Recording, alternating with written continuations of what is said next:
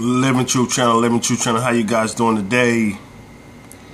All right, all right. Sound like you guys are doing blessed. Sound like you guys are doing blessed. That's always a blessing, you guys. That's always a blessing. Never let the enemy, never let the devil, never let Satan take your joy, you guys. Living Truth Channel. Today's episode, we're just going to be getting into a near death experience from our brother in Christ, you guys. And I also would like to say, you guys, never let nobody tell you something is impossible. They will try to take your your stride, take your courage to do something that they feel like they couldn't do. They're going off what they feel they could do. If they say, if you tell them I'm trying to do this, I'm trying to go mountain climbing, I'm trying to do something that's out of the ordinary, they just telling you that's impossible because that's how they feel if they tried it. You and them are two different two different people, two different individuals. So that so with that being said, you guys, what you could do is probably far more than they could do or vice versa. And also remember nothing is impossible with Jesus Christ.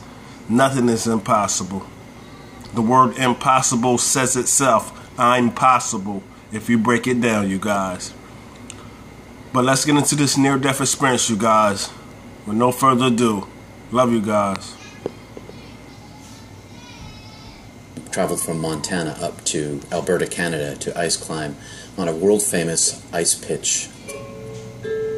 At 8 o'clock that night, the temperature dropped drastically. Since we had no equipment to keep ourselves warm, our best bet for survival was to try to get off the mountain. It was 150 feet down. We, we repelled in the air on this overhang to a large area.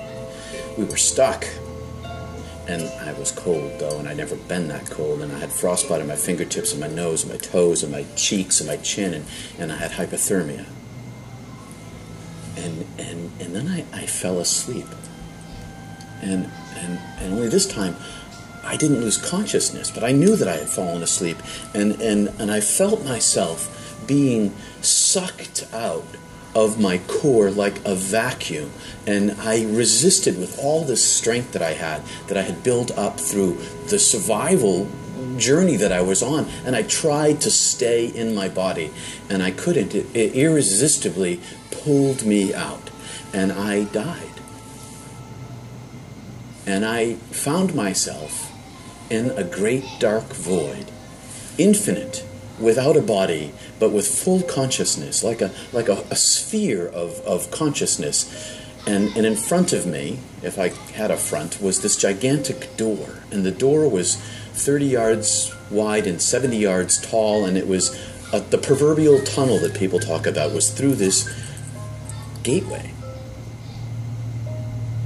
And I said, Am I dead? And the voice of God, with no voice and no language, said to me, Yes, you're dead. And I said, But I haven't gone through the door yet. And, and the voice of God said, No, you haven't. I said, Well, do I have to go through the door? I have this sister, you see, that left our family and broke my mother's heart.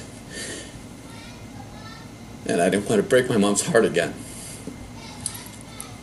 and die and leave them. And God said and showed me, showed me, He said, the, the love with which I love you now, I have always loved you. And that same love that I love you with now, I love your family. And I love each person on earth with this fullness of love and forgiveness and knowing and mercy that you feel right now in beauty. And all will be well and your family will be okay. And the next thing I knew, I was being screwed back into my body like a like an ice screw that you use to put into the ice to hang on, and it was painful and it hurt, and I got driven into my body from my stomach, and I, I came to, and my partner Tim had me by the shoulder, and he was he was screaming at me, "Don't die, don't leave me here." And uh, I kept my mouth shut about what had happened for close to 20 years. And now I'm telling this story because what it's left me with is that I know that I'm known, and I know that I'm beloved, and I know that you are too, and everybody is. And I know that this is not the end of life, that this is just the passage through to real life. And it's this long, and that's how much time we have till we get to go home. And I'm waiting to go home. I pray for it every day. I can't wait. Wow, that was absolutely amazing. Absolutely amazing. There is life on the other side. Living Truth Channel, I love you guys always. Hope you guys enjoyed that video.